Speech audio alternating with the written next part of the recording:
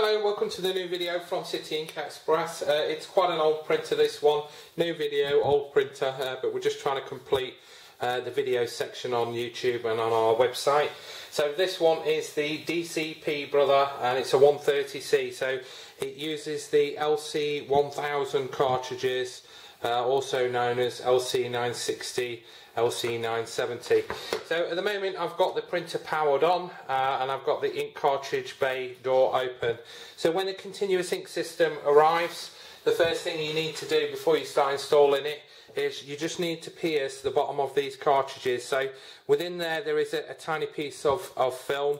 Uh, so there is a little label on here normally that tells you you've got to pierce them. I've taken that off for the purpose of the video.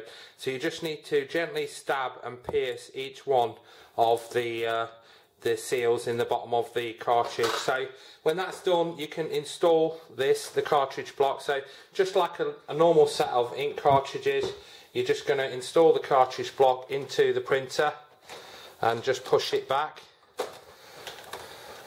And then what you need to do is you can just route your ink line over here around on the right hand side uh, and then you can just close your close your door as normal so when you spin the machine round so even though the cable's coming out over here on the right hand side that's not enough even though the door's closed it's not enough to track or inhibit the ink flow at all. So you can tidy up the cable on the side. There's normally a black a black clip halfway down here. So two types of clips we've got are these clips or we've got one like this which may be in your accessory pack. So we're just going to pop that on the side there tidy the ink line up let's just move it up and then close the clamp and that will just keep it keep it nice and tidy. So the ink line itself this is system uh, so it is long enough to reach uh, round the back of the printer if you haven't got room or normally it will just sit here on the side. It's got quite a long ink line so the space you need for that continuous ink system is four and a half inch well 105 mil square room at the side of your printer. So I've installed the excuse me. I've installed the ink cartridges and the printer knows it's got the ink cartridges in but what, I'm going to run a couple of head cleans because uh, this was a second-hand printer that we bought from eBay uh, and it's likely it needs a couple of cleans uh, before we can carry on with the install. So I'm going to select a cleaning cleaning and let's just have a look. Cleaning start press the wrong button there. I should have checked this one out before I uh, test print cleaning. Okay. Now I don't want the black. Uh, all colours. Okay so it's doing a head clean. So we'll move back round to the continuous ink system while it's doing its head clean. So on top of the continuous ink system you need, need to remove the four small flat plugs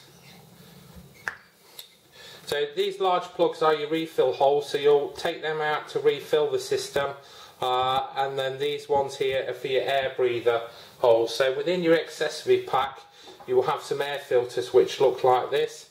So what you need to do is you just need to pop the air filter in.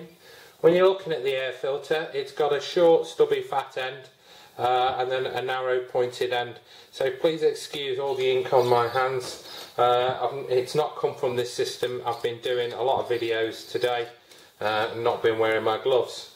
So yeah, just install all four of the air filters like that and then you can pop that back at the side of the continuous well, at the side of the printer uh, and that's how it would sit. But please remember continuous ink systems have to be installed at the same level as the base of the printer. If you don't, it's possible that it, could flood your printer. So that bit's quite important. You can just pop that at the side like that uh, and that's it installed. So at the moment it's running through its head clean. What I'll do is I'll, I'll try running a print uh, and see if it needs another one. I'm not quite sure because I haven't tested this printer since we bought it. So when it's done, I've basically I've got a document. I've just got a photo underneath, and I'm just gonna scan this photo and uh, see what it comes out like, and then we'll see. Might have to do another clean.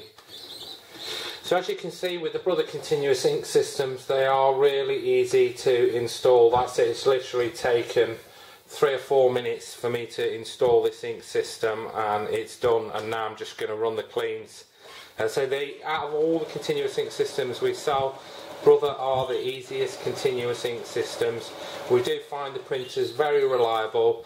They don't use chips on their cartridges, so you, you never any you never get any of that ink cartridge cannot be recognised issue. So I'm just going to do. Let's just have a look. Just going to do a copy uh, and then see what it comes out like. So it's scanning the document. also, the other reason we like the Brother Continuous Ink systems is that they have this fixed cartridge head. So it means that once it's installed, your cartridge block never moves. So you get no moving parts, no moving ink lines, and nothing. So that's what makes them so reliable for continuous ink systems. Whether Brother continue to manufacture their printers like this, I don't know, but they've certainly been like that for the last seven or eight years that we've been doing continuous ink systems. so it's just running its copy off now, uh, and we'll have a look and see what it comes out like.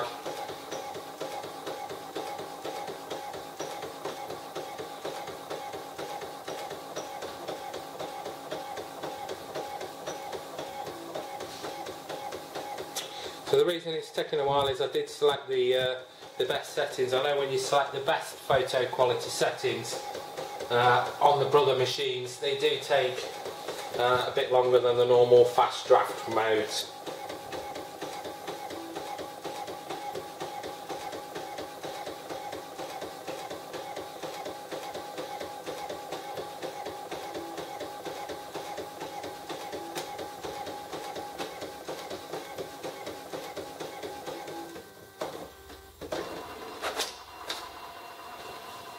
Yeah, so for I'm quite quite happy with that. It's a it's a good reflection uh, of the image that we've posted underneath the scanner, which I'll show you. So just remember that I've done I've done the photo on the original photo is on photo gloss paper, so it will look different, and uh, the copy is on plain matte white paper. So that's how you install the continuous ink system from City Ink Express for their brother LC960, LC970, LC1000 printers and their test model is a brother DCP 130C. Thank you.